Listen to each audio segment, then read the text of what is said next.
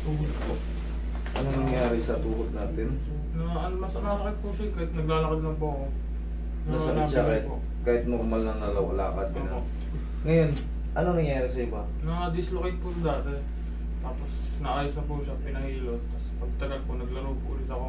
Tapos Hmm. nadali na naman po ulit. Lumaga po yan eh. Kailan yung huling pamamaga? eh, Kailan yung huling nadali ka? January po. Itong January? Apo. Okay, sige, higa ka. Master pwede sa video. Oo! Video nyo lahat. Wala mo. Dito walang problema. eh. Video nyo lahat. Yun nga eh. Pinapanood, Basta- pinapanood lang namin kayo ngayon. Mm. Sa inyo naman yan, kung i-upload nyo, i-upload nyo. Basta walang... Ang sa amin lang naman yun dun. Kaya kung maminsan mapuputol yung may edit kami kasi kunyari, galing na kayo sa pahilutan o galing na kayo sa ibang ano. Yun lang kakati namin. Pero yung video yan, kahit anong masabi namin dyan, kayo nang bala dyan kasi Ah. video nyo yan. Ang mahalaga, hindi galing sa page namin. Oo. Okay? Ayan, sige. Shoutout sa inyong lahat.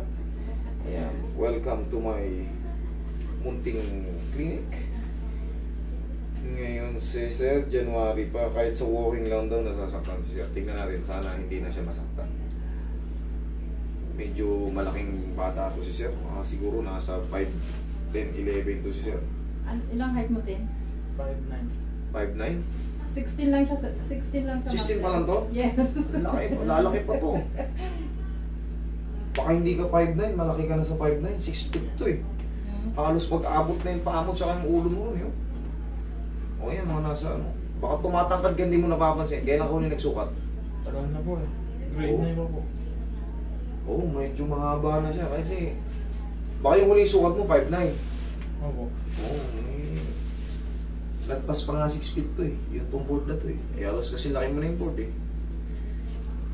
Ano naman siyang ano, maayos ka agad to idol. Kumbaga, may matitira lang konti dito sa mga maga-maga na nasa loob kung sakaling meron. Pero wala ka pang ano eh. Wala pa yung ini-expect kung mga ano eh, yung mga extended ligaments na bumubukol-bukol sa gilid. Wala pa. Bata pa to eh. Kaya-kaya yan. Relax lang. Hindi naman masakit yan. Magugulat ka lang. Ayan o, ganyan lang.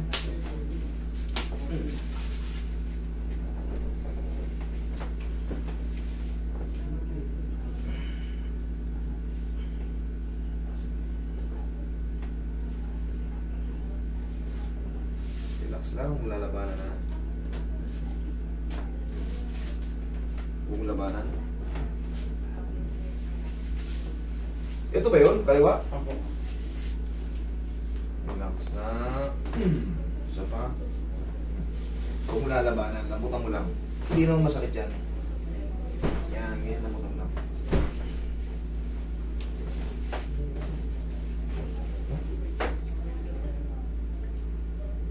Sixteen, mga haba-haba pa nga ano nito. Nung una nga master, ayaw niya kasi natatakot. Sabi ko na yung mga babae nga doon, hindi nga natatakot. Nasaktan ka ba kayo, ma'am? Hindi po. Ganun lang treatment dito. Kana, yung iba kasi, mahina yung pain.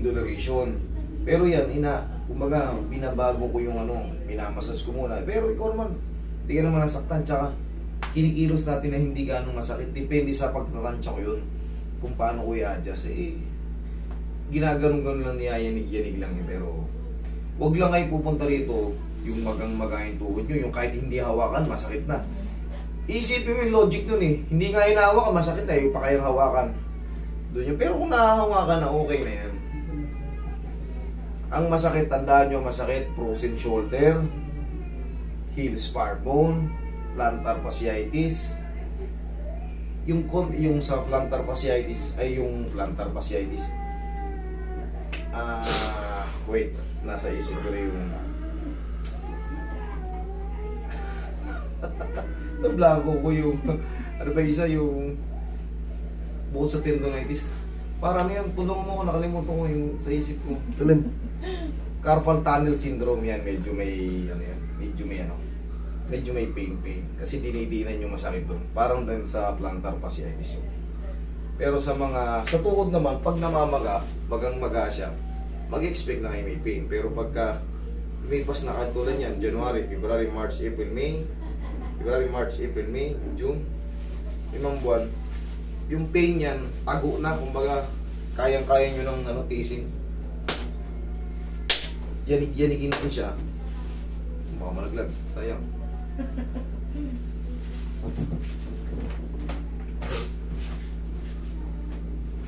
Oh, tigas mo to. Sipa mo. Sipa. Isa pa. Okay po. Pahinga. May pain siya pag ginagayan ko? Wala. Wala po. Iyan. Wala rin po. Iyan. Nako, wala na eh. Sige nga. Testing mo. Walking ka nga. Tingnan mo kanina masakit ka mo pag nilalakad kayo. Testing. Hindi mo. Sige nga, oh. Hindi na po. Hindi na? Oo, kita mo na, umaray ka ba? Sobrang takot mo sa isip mo lang yun. Okay? Oo pa. Ganito ako pa. Paliwanagan mo na kita. Medyo malaking bata kasi to eh. Lalaki pa to. Ngayon, syempre, may kabigatan tayo. Huwag mo munang ilaro ng mga dalawang linggo, tatlong linggo. Hayaan mo muna mag-establish yung position. Kasi, yung na-adjust dyan, baka dumulas lang ulit sa luma pagka pinilit mong italon. Normal lang muna na pamumuhay kung anong ginagawa mo. Kung naghuhugas ka ng plato, tinuhugas ka ng plato. Yun lang, idol. Pahinga lang muna, ha? Tapos, ganyan-ganyan mo na naman ang pauyan. Okay? O sakali may may pa ng konti, dire-diretso na. Kaya na? Sure ka? Oo. Sabi mo masakit. Hindi ko nga narinig yung, ah, wala nga ako narinig ganun eh.